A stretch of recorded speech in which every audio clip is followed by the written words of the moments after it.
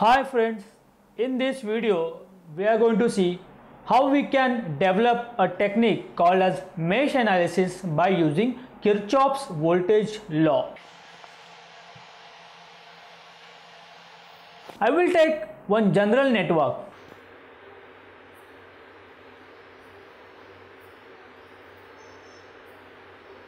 having two loops. I will consider all generalized value. That means for this battery EMF is E1 here E2 and these resistances will have the values R1, R2 and R3 and objective is that we have to find out current flowing through all of them meaning let's find out what is IR1 IR2 and IR3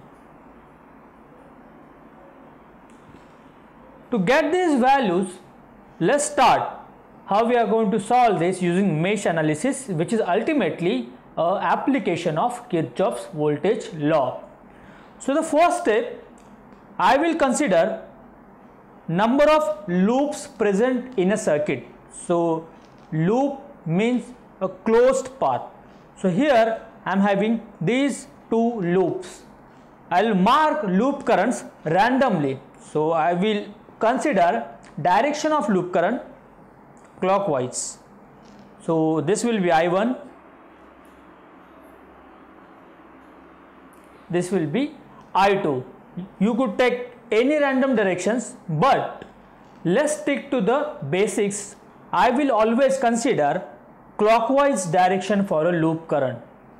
Then based on this direction of currents I am going to mark voltage drops that got developed across all the resistances. So the concept is that whenever I am having a resistance like this and current I is flowing let's take in this direction. Then voltage drop developed across a resistance will be in the direction of current in this manner plus minus. And that is considered as a drop. So let's mark all the voltage drops for these three resistances. So in the direction of current I will get this polarity. Now R3 is a common resistance between loop 1 and 2. So obviously it will have two voltage drops. So as per the I1 it will have the voltage drop of this polarity and as per the I2 it will have the voltage drop of the mentioned polarity. Now once you have done this let's go back to the batteries. Batteries as we discussed earlier the voltage or a potential of a battery does not depend upon direction of current it will be fixed polarity and the polarity is longer arm plus shorter arm minus.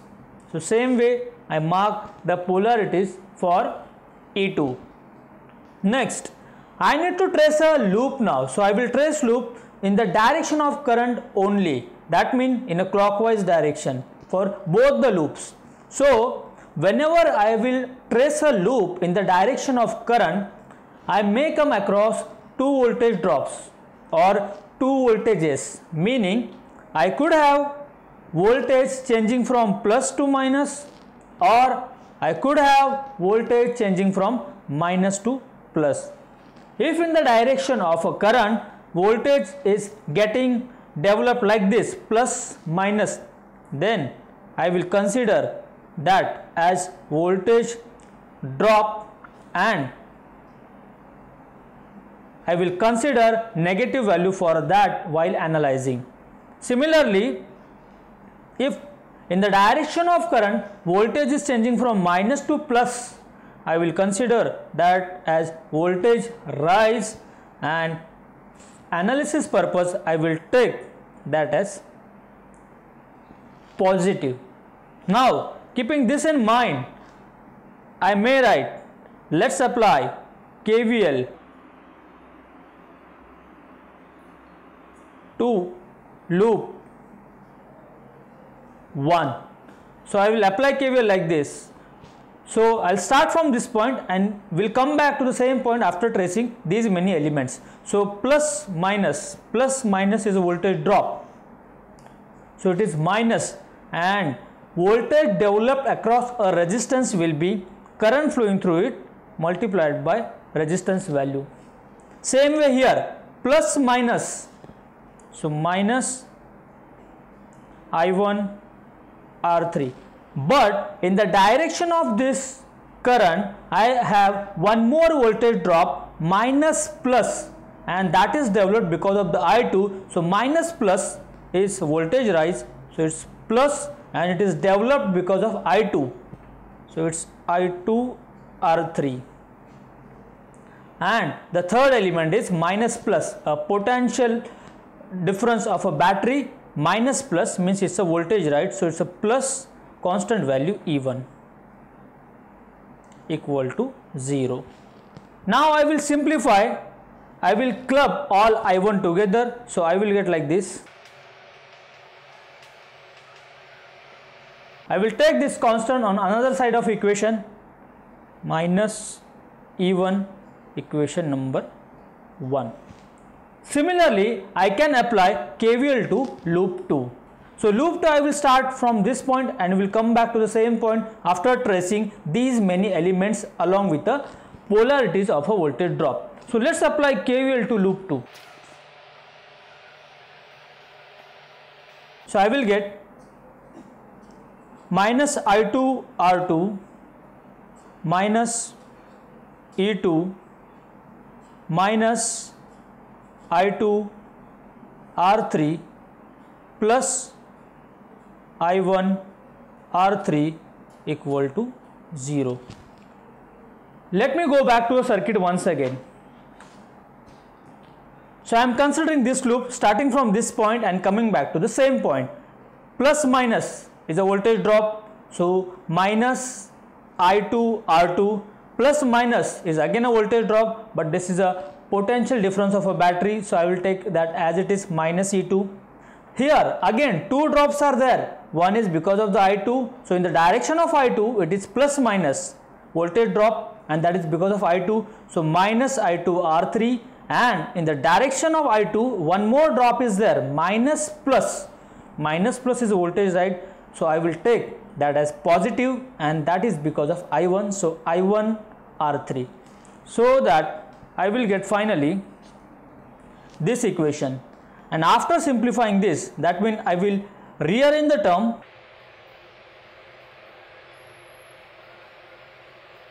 I will get this equation number 2. The objective is to find out value of current flowing through all the resistances. For that I should know all loop currents.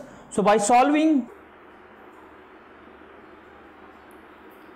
equation 1 and 2 Obviously, whenever we solve numerical, we will have the value instead of R1, R2, R3, E1 and E2. So obviously, you will have a number and then you can get a value of I1 and value of I2. Now, using these two loop currents, I am supposed to get the value of IR1, IR2 and IR3. So, let's go back to the circuit once again. So, if I see properly, the current flowing through the R1 is nothing but I1 only. Current flowing through the R2 is I2 only, but current flowing through the R3 it may be I1 and I2 but not necessarily that will be I1 plus I2 it all depends upon the direction of current. Meaning I1 is flowing like this downward and I2 is flowing upward. So different directions meaning the value of current flowing through the R3 will be the subtraction of I1 and I2 and whoever having the more value that particular current direction ultimately the current through R3 will have. So I can write here current flowing through the R1 is nothing but I1 current flowing through the R2 is nothing but I2 and current flowing through the R3 it may be I1 minus I2 or I2 minus I1 depends upon whichever value is more. So here we have seen that we can use a KVL in a different manner and develop a technique which we call as a mesh analysis which is simpler than, than, than that of a KVL and KCL. In further videos, we will see application of this mesh analysis for solving certain numericals. Thank you.